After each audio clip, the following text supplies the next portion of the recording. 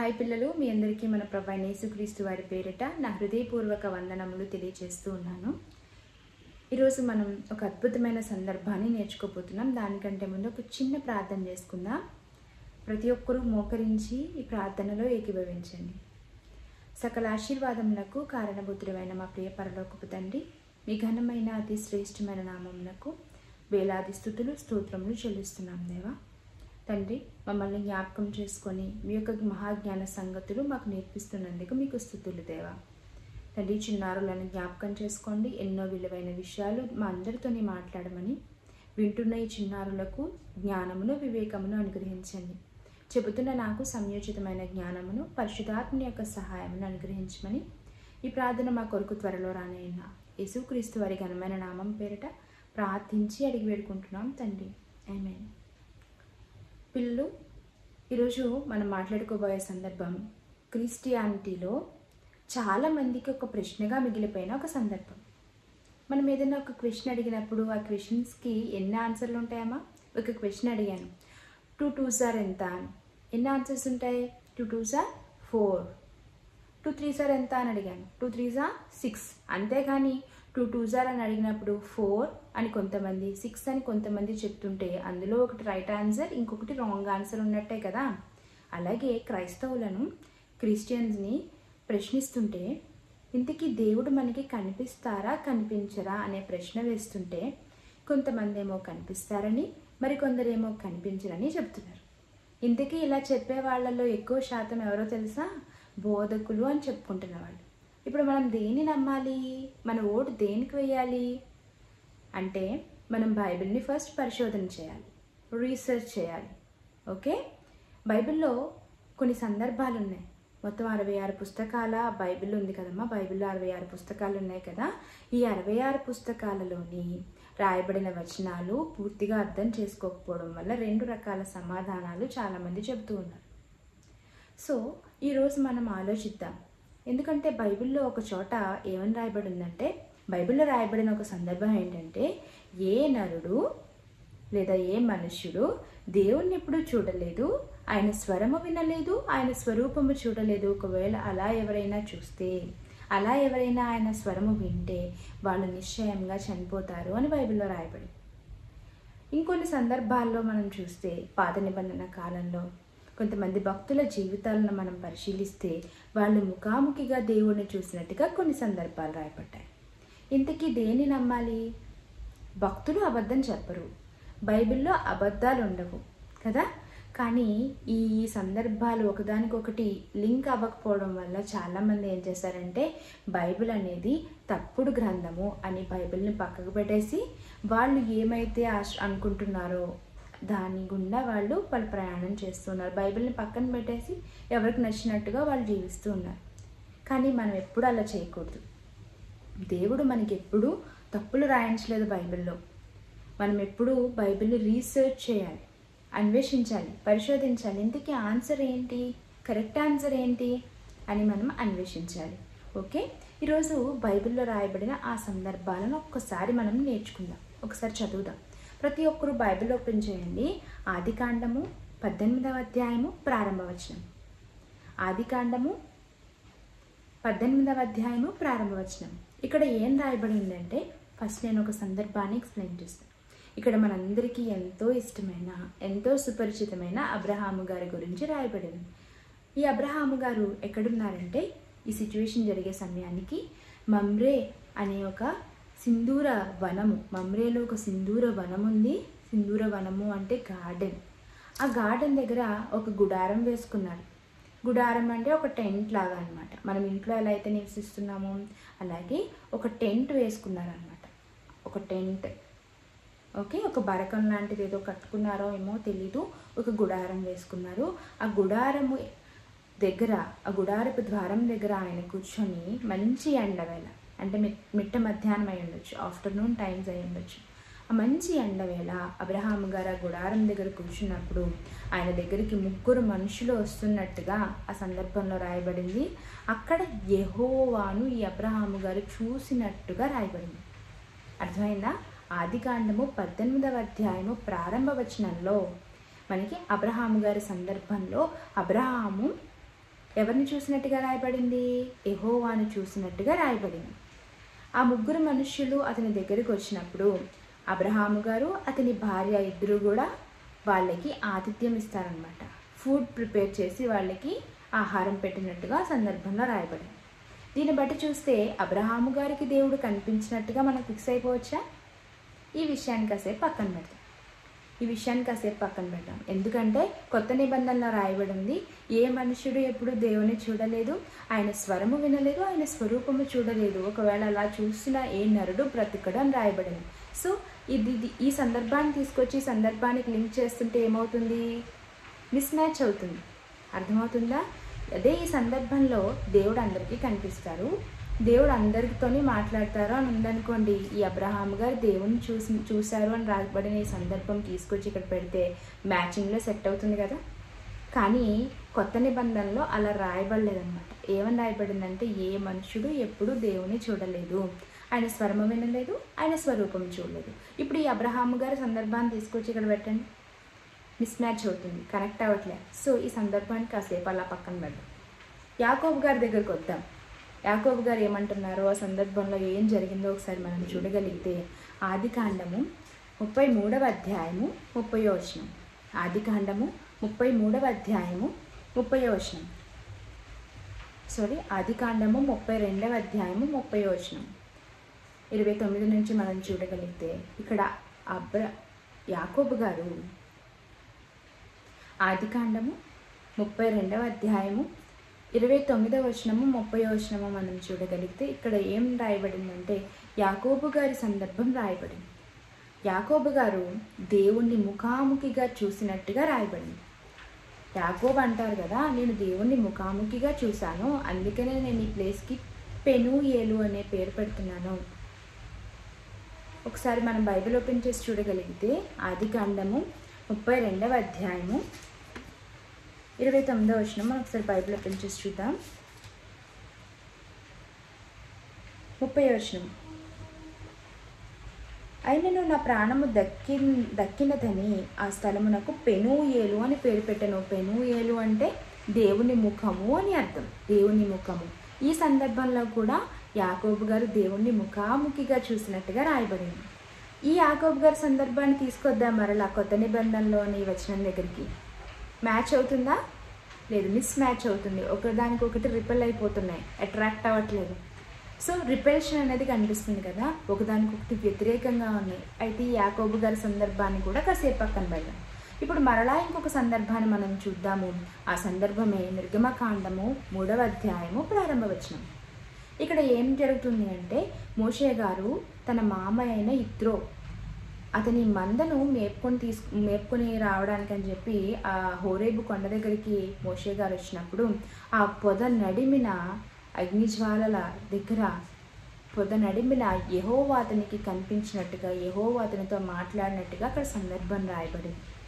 ఇప్పుడు ఇదే సందర్భాన్ని మరలా కొత్త నిబంధనలో ఉన్న ఆ వచనం దగ్గరికి తీసుకొస్తుంటే అవి అట్రాక్ట్ అవుతున్నాయా రిపెల్ అవుతున్నాయా? మ్యాగ్నెట్స్ చూడండి ఒకదానికొకటి అట్రాక్ట్ అవుతాయి. అదే రివర్స్ చేసామనుకోండి అవి ఒకదానికొకటి రిపెల్ అవుతాయి కదా? సో ఇక్కడ ఈ సందర్భానికి ఈ అబ్రహాం గారి సందర్భము రిపెల్ అయిపోతుంది. అట్రాక్ట్ అవ్వట్లేదు మ్యాచ్ అవ్వట్లేదు. యాకోబు గారి సందర్భము మ్యాచ్ అవ్వట్లేదు. ఇక ఫైనల్గా మోషే గారి సందర్భం కూడా మ్యాచ్ కావట్లేదు. అయితే బైబిల్ని తప్పని పక్కన పెట్టేద్దామా? అలా మనం అనకూడదు. సో దీనికి ఏదో ఒక ఆన్సర్ సొల్యూషన్ అనేది బైబిల్లో ఉంటుంది. దాన్ని మనం ఓపికగా ఎంచుకున్నప్పుడు ఓపికగా పరిశీలన చేసినప్పుడు మనకి దాని ఆన్సర్ ఖచ్చితంగా దొరుకుతుంది. ఎందుకంటే యెహోవా తన మాటల్ని ఈ అరవై ఆరు పుస్తకాల్లో కొంత ఒక చోట కొంత ఒక చోట రాయించారంట. Bible is like a puzzle అనమాట మనం సెర్చ్ చేసుకోవాలి. సుడోకు ఆడతారా మీరు? సుడోకు ఆడతారా బుక్స్లో సో ఇంచుమించుగా అలానే ఈ సందర్భాల గురించి బైబిల్లో వేరే ఇంకెక్కడైనా రాయబడిందా లేదా అనేది మనం పరిశీలన చేసినప్పుడు మనకు ఆన్సర్ ఖచ్చితంగా దొరుకుతుంది. దేవుడు ఏదో ఒక చోట దాన్ని దాచిపెట్టారు దాన్ని మనం పరిశీలన చేద్దాము. ఫస్ట్ మనకి సందర్భం ఏంటి? అబ్రహాం గారి సందర్భం. ఆదికాండం పద్దెనిమిదో అధ్యాయం ప్రారంభ వచనానికి డైరెక్ట్గా ఒక రిఫరెన్స్ రాసుకోండి హెబ్రి పత్రిక పదమూడవ అధ్యాయము ప్రారంభ వచనం. హెబ్రి పత్రిక పదమూడవ అధ్యాయము ప్రారంభ వచనం. అక్కడ రాయబడి ఉంటుంది చదువుదాం మనం ఒకసారి. హెబ్రి పత్రిక పదమూడవ అధ్యాయము ప్రారంభవచనం సహోదర ప్రేమ నిలువరముగా ఉండనీయుడి ఆతిథ్యము చేయ మరువకుడు. దాని వలన కొందరు ఎరుగకయ్యే దేవదూతలకు ఆతిథ్యము చేసిరి. ఎవరు చేశారంట ఆతిథ్యము? ఎరుగకయే దేవదూతలకు ఆతిథ్యము చేశాను. అక్కడ అబ్రహాము గారి సందర్భంలో ముగ్గురు మనుషులు వచ్చినట్టుగా మనం చూస్తున్నాం కదా. ఆ ముగ్గురు మనుషులు దేవుని వలన పంపబడిన దేవదూతలు అని మనకి ఇక్కడ క్లారిటీ వస్తుంది. అంటే అబ్రహాము గారు చూసింది దేవుణ్ణి కాదా? అబ్రహాం గారి దగ్గరికి వచ్చిన ఆ ముగ్గురు మనుషులు దేవుని దేవుని స్వరూపం కాదా? వాళ్ళ మాట దేవుని మాట కాదా? దేవుడు చెబితే ఆ మాటని తీసుకొచ్చిన దేవదూతల? అవును అని ఇక్కడ మనకి హెబ్రి పత్రికలో కనిపిస్తుంది. అంటే ఇప్పుడు ఒక ఆన్సర్ మనకి సెట్ అయింది. అబ్రహాము గారి కాలంలో దేవదూతల్ని అబ్రహాము గారు మనుష్య రూపంలో చూశారు తప్ప దేవుడు కాదు. సో ఇప్పుడు ఈ వచనం. అప్- మనకి హెబ్రీ పత్రిక పదమూడవ అధ్యాయం ప్రారంభ వచనాన్ని తీసుకొచ్చి కొత్త నిబంధనలో ఉన్న ఏ మనుషుడు దేవుణ్ణి ఎప్పుడూ చూడలేదు ఆయన స్వరము వినలేదు ఆయన స్వరూపము చూడలేదు అనే విషయాన్ని దగ్గర తీసుకొస్తే మ్యాచ్ అవుతుంది. సో ఈ మ్యాచింగ్ని మనం పక్కన పెడదాం. సో ఇది మనకి సాల్వ్ అయిపోయింది. ఇక నెక్స్ట్ సందర్భాన్ని మనం చూస్తే ఇంకొక సందర్భం యాకోబు గారి సందర్భం గురించి మాట్లాడుకున్నాం కదా. హుష్యా గ్రంథము పన్నెండవ అధ్యాయము నాలుగవ వచనాన్ని మనం చూస్తే హుష్యా గ్రంథము పన్నెండవ అధ్యాయము నాలుగవ వచనం మనం అక్కడ చూడగలిగితే అక్కడ ఉంటుంది యాకోబు దేవునితో పోరాడినట్టుగా ఉంది కదా కానీ అతడు పోరాడి గెలిచింది దేవదూతలతో అనే మాట రాయబడింది. ఒకసారి మీరు బైబిల్ ఓపెన్ చేసి చూడండి. యాకోబు పోరాడి గెలిచినది దేవదూతలతో ఆ స్థలానికి పెనుయేలు అని పేరు పెట్టారు కదా ఆ ఏరియాలో యాకోబు గారికి కనిపించింది దేవుడు కాదు. ముఖాముఖిగా దేవదూతను ఆయన చూసినట్టుగా మనకి బైబిల్లో రాయబడింది. ఇప్పుడు ఈ హుషియా గ్రంథం పన్నెండవ అధ్యాయం నాలుగవ వచనాన్ని తీసుకొచ్చి కొత్త నిబంధనల ఆ వచనానికి మ్యాచ్ అవుతుందో లేదో చూడండి. కరెక్ట్ మ్యాచ్ అవుతుంది.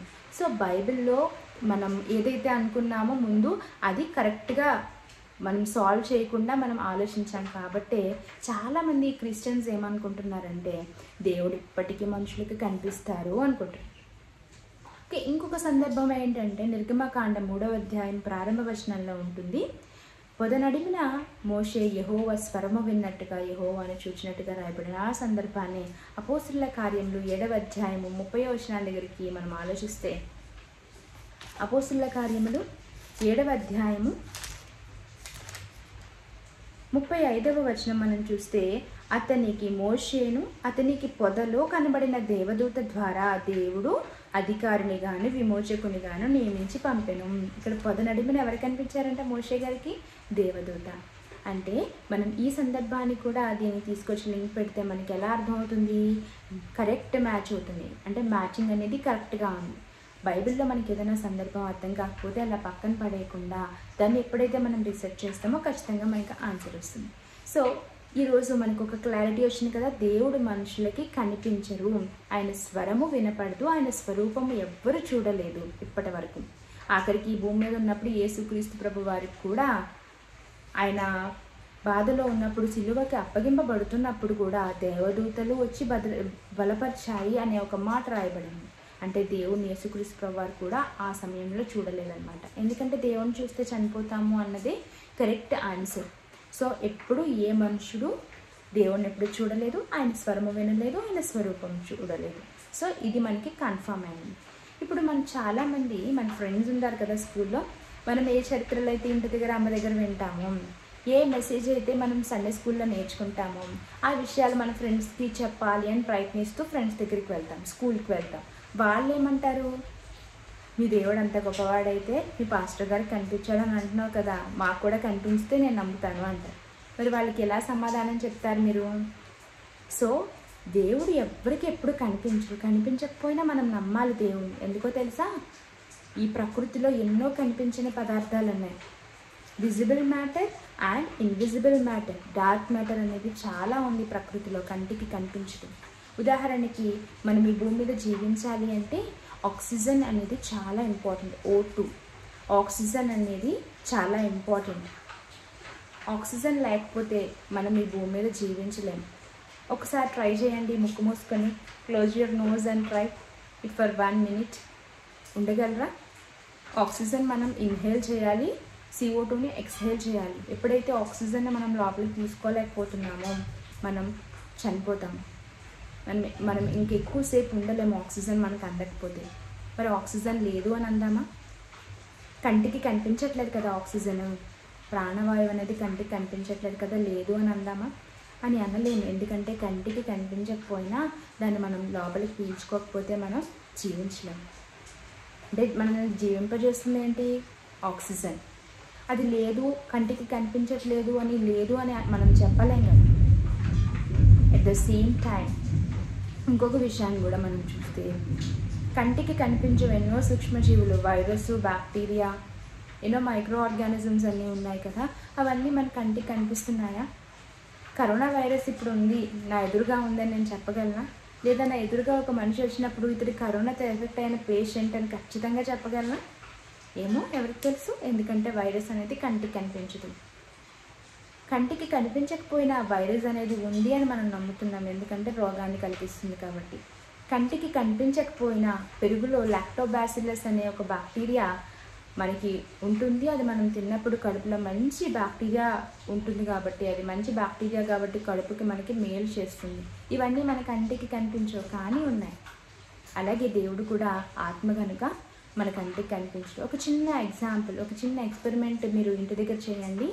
చాలా బాగుంటుంది. ఇంట్రెస్టింగ్ ఆస్పెక్ట్ కూడా ఇంట్రెస్టింగ్ ఎక్స్పెరిమెంట్ కూడా. దీనికి కావాల్సింది టూ ఆనియన్స్ రెండు ఉల్లిపాయలు తీసుకోండి. మీ ఇంటి దగ్గర ఉన్న రెండు ఉల్లిపాయలు తీసుకోండి. టూ స్టెప్స్లో చేయండి. ఫస్ట్ స్టెప్లో మీరు ఏం చేస్తారంటే ఆనియన్ని అమ్మని ఏం చేయమంటారంటే మీ మదర్ని ఆనియన్స్ని స్లైస్ చేయమని చెప్పండి. కట్ చేయమని చెప్పండి. మీరు దగ్గరే ఉండండి. అది కట్ చేస్తున్నప్పుడు అమ్మకి దగ్గరగానే నిల్చోండి. నిల్చున్నప్పుడు ఆనియన్స్ ఉల్లిపాయలన్నీ తరుము తురిమిన తర్వాత మీరు ఏం గమనించారు? అది మీరు మీ బుక్లో రాయండి. ఉల్లిపాయలు తరిగితే ఏమవుతుంది? కళ్ళు మండుతాయి. వెంటనే కన్నీళ్ళు వస్తాయి. కదా? ఈ సందర్భాన్ని మనం పక్కన ఒక నోట్బుక్లో రాసుకోండి. ఉల్లిపాయలు తరిగినప్పుడు కళ్ళల్లోంచి నీళ్ళు వస్తున్నాయి. ఏడుపు వస్తుంది. సో దీన్ని పక్కన పెడదాం. ఇప్పుడు సెకండ్ స్టెప్లో ఏం చేస్తారంటే ఉల్లిపాయని సకాన్ని కట్ చేసి వెంటనే ఒక బౌల్ వాటర్ తీసుకుని అందులో ఒక అరగంట సేపు వేసి ఉంచేయమనండి ఆనియన్స్ని కట్ చేసి సకానికి సగం కట్ చేసి బౌల్లో వేసేయమనండి వాటర్ నింపిన బౌల్లో కూలింగ్ వాటర్ అయితే ఇంకా బెస్ట్ లేదా నార్మల్ వాటర్ కూడా మంచిదే మామూలు నీళ్ళలో వేసేయమనండి. వేసి ఒక అరగంట పోయిన తర్వాత ఇప్పుడు ఆ ఉల్లిపాయ ముక్కల్ని కట్ చేయమనండి. ఇప్పుడు మీరు ఏం గమనించారు? ఫస్ట్ ప్రాసెస్లో మీరు ఏం గమనించారు? ఉల్లిపాయని వాటర్ లేకుండా డైరెక్ట్గా కట్ చేసినప్పుడు మీరు ఏం గమనించారు? సెకండ్ ప్రాసెస్లో ఉల్లిపాయని కట్ చేసి సగం ముక్క రెండు ముక్కలుగా ఉల్లిపాయను చేసి దాన్ని వాటర్లో వేసి ఒక అరగంట పోయిన తర్వాత మీరు అమ్మ పక్కనే నిలబడి ఆనియన్స్ని కట్ చేయించుకోండి అప్పుడు మీ కళ్ళల్లోంచి నీళ్ళు వస్తాయో లేదో ఒకసారి గమనించండి. ఫస్ట్ ప్రాసెస్లో నీళ్ళు వస్తాయి కన్నీళ్ళు వస్తాయి రెండో ప్రాసెస్లో మీకు కన్నీళ్ళు రావు. కారణం ఏంటో తెలుసా? ఆనియన్స్లో సల్ఫర్ అనే ఒక కాంపౌండ్ ఉంటుంది. సల్ఫర్ అనే ఒక కాంపౌండ్ ఉంటుంది. అది మన కంటికి కనిపించదు. కానీ ఎప్పుడైతే మనం ఉల్లిపాయలు కట్ చేస్తామో అందులో ఉన్న సల్ఫరు ఏం చేస్తుందంటే దగ్గరలో తేమ ఎక్కడుందా అని వెతుక్కుంటుంది అనమాట మనం ఉంటాం కదా డైరెక్ట్గా అక్కడ. సో అది డైరెక్ట్గా మన కళ్ళల్లోకి వెళ్ళిపోతుంది. కళ్ళల్లోకి వెళ్ళి ఆ నీటితో అది కలిసి యాసిడ్ని తయారు చేస్తుంది. అందుకనే మన కళ్ళు కన్నీళ్ళు కారుస్తూ ఉంటాయి. సల్ఫర్ అది చూపించు అంటే నువ్వు చూపించగలవా? కానీ ఉంది నమ్మాలి. ఎందుకంటే కన్నీళ్ళు వస్తున్నాయిగా. రెండో ప్రాసెస్లో నీ కళ్ళ కంటే ముందు పక్కనే ఎక్కువ వాటర్ పెట్టుకుని అన్నావు అనుకో ఆ ఆనియన్స్లో ఉన్న సల్ఫర్ అంతా వాటర్లోకి ట్రాన్స్ఫర్ అయిపోతుంది. అందుకనే నీకు కన్నీళ్ళు రావట్లేదు. ఇక్కడ సల్ఫర్ అనేది కంటికి కనిపించట్లేదు కానీ ఉంది. సో ఇది మనం ఎలా నమ్ముతున్నామో కనిపించని దేవుడు కూడా ఉన్నారు. ఆయన లేకపోతే ప్రకృతి లేదు. ఇదే విషయాన్ని మీ ఫ్రెండ్స్తో మీరు డిస్కస్ చేయండి. ఇదే విషయాన్ని దేవుడు ఎందుకు కనిపించట్లేదు అని అడిగిన ప్రతి ఒక్కరికి చెప్పండి. ప్రాణవాయువు అనే ఎగ్జాంపుల్ చెప్పండి. ఈ ఆనియన్ ఎగ్జాంపుల్ కూడా మీరు చెప్పండి. ఓకే? మీకు ఈ ప్రాక్టికల్ అర్థమైందని అనుకుంటున్నాను. ఇంటి దగ్గర ఈ ప్రాక్టికల్ని డైరెక్ట్గా చేయండి. మీ నోట్స్లో నోట్ చేసుకోండి. ఈ సందర్భాలన్నీ చక్కగా నోట్ చేసుకోండి. ఎప్పుడైనా ఎవరైనా దేవుడు మనకి కనిపిస్తాడు మనతో మాట్లాడతాడు లేదా నాతో మాట్లాడాడు అనే సమాధానం మీకు ఎవరైనా చెప్పారనుకోండి వాళ్ళకి క్లియర్గా ఎక్స్ప్లెయిన్ చేయండి. సో మీకు ఎప్పుడు కూడా బైబిల్లో డౌట్స్ వచ్చినప్పుడు వెంటనే క్లారిఫై చేసుకోండి. ఓకేనా దేవుని యొక్క కృపా కాపుదల మీకు మీ కుటుంబాలకు ఎప్పుడు తోడుగా ఉండాలని కోరుకుంటూ ఈ నా మాటను ముగిస్తున్నాను. God bless you all